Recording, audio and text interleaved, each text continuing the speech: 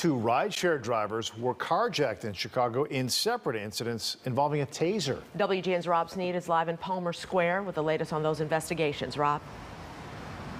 Chicago police would not confirm if either one of those carjackings are connected, but they are investigating both, they say. Folks who live out in the community say that they wish those drivers well.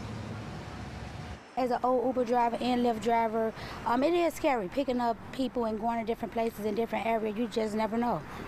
You just never know. Tiara Strickland was a rideshare driver at one point, and she doesn't want to go back, especially after hearing someone carjacked and attacked two rideshare drivers with a taser. When you hear they, they used a taser, when you hear that, what goes through your mind? Even more shocking. That that that, that sounds like it hurts.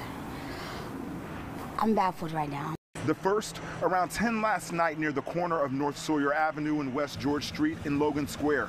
After a rideshare driver picked up two men, the victim said one of the suspects used a taser to stun him. He got out of his car and the suspects drove off.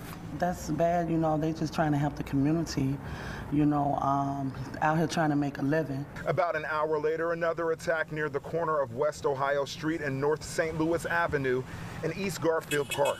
It's close to where Stasha Hankins lives.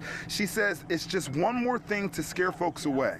That's making it bad for the neighborhood. Police say this rideshare driver picked up two suspects as well. The suspect stunned the driver in the neck, causing him to stop his car. They took off with the vehicle. They can't do nothing with these kids. So far, police have not made any arrests in either one of those carjackings. Reporting live on the city's north side, Rob Sneed, WGN News. Checking in now.